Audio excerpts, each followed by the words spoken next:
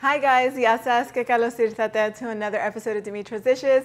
Today we're making another soup in the Instant Pot. We're making the classic fasolada, which is a white bean soup in a tomato base. It's so good, heartwarming, comforting, nutritious, and of course delicious. Let's get started. So I already finely chopped uh, a large onion. I'm gonna put it in the Instant Pot along with three carrots that have been peeled and chopped and three celery sticks. I'm going to add about a quarter of a cup of really good quality olive oil and a little pinch of salt. Just mix everything up. Then you're gonna set the pot to the saute feature and they're gonna saute for about eight minutes or until they're nice and soft. They don't need to get a lot of color to them. So my veggies cooked for about 10 minutes. Now over here I have some beans that I just soaked in the morning for like about an hour. I'm, I'm not soaking them today for this recipe just so I could show you how they turn out. These are fresh beans. I think they're Great Northern or cannellini. You can use either one or you could even use white navy beans. And then you just wanna drain that water out and add them. Before you do that, actually add the garlic. I have some garlic cloves here. These are four or five garlic cloves that I've grated. Just give everything a nice mix.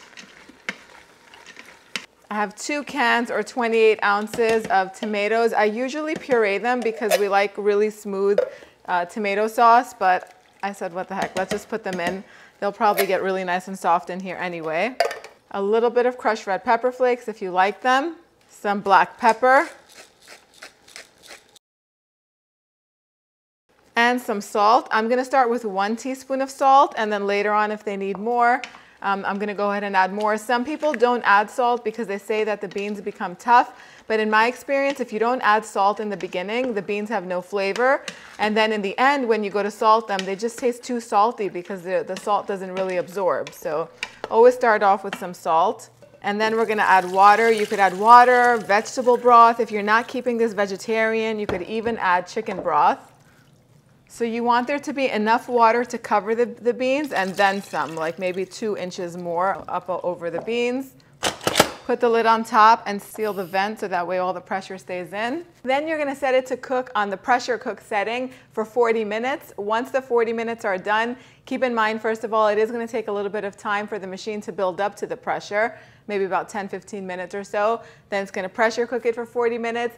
After that, don't, don't release the pressure um, with the vent because you're going to have a mess everywhere. Plus, you want it to sit a little bit more so the beans can be nice and soft. So let it naturally release for about 20 minutes and then go ahead and move the valve to the vent position. So whatever steam is left inside, it'll just come out. Then we're going to open it up and just add the final ingredients. In the meantime, I'm going to clean up. All right, so while the soup is cooking, we're gonna go ahead and make the topping, which is gonna take this to the next level. I like to make a gremolata with this, which is basically some chopped up herbs and a nice zesty lemon olive oil dressing. It is so good. Not traditional with uh, fasolada, the Greek bean stew. We really like to just garnish it with some fresh uh, parsley and some dried oregano and call it a day. But this is gonna, like I said before, it's gonna make it extra delicious. The way to make this is very simple. You just want to grate one or two cloves of garlic, nice and fine, put that in a big bowl.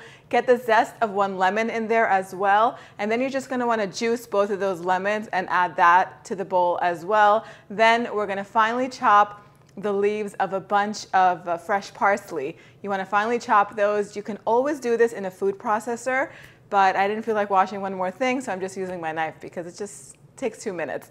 So finally chop the parsley leaves, then go ahead and remove the leaves of a few sprigs of rosemary and finally chop those up as well too.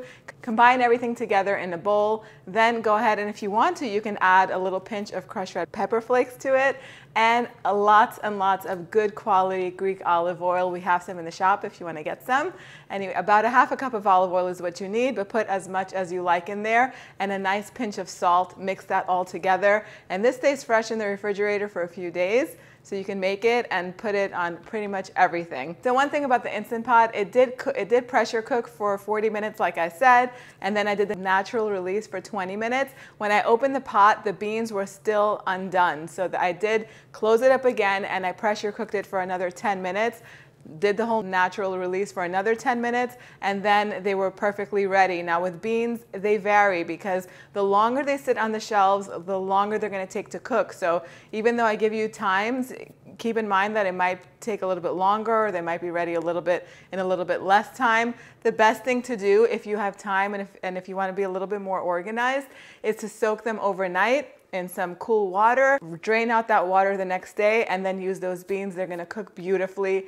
It does work with fresh beans as well, not unsoaked but it's just gonna kind of like, you're just gonna have to tweak the timings if you don't mind about that. It's all hands off anyway. Then once they're done, you just wanna give it a nice mix and taste it and see if it needs more seasoning. Mine did need more salt, so I went ahead and added another hefty pinch of salt. Beans really, really need salt. Salt equals flavor, you guys. Don't be afraid of it. Then it's ready to serve. You can garnish it with some fresh parsley, a little bit of oregano, or you can put the gremolata on top like I did. Serve it with some olives, some feta cheese, and some toasted bread, and you're gonna have a meal that's delicious and nutritious too. Time to do the taste test. And I didn't um, puree my tomatoes, but I suggest you do. I don't know, I'm not a huge fan of chunks of tomatoes in my soup, but should be fine. Mmm. So delicious, so comforting and cozy.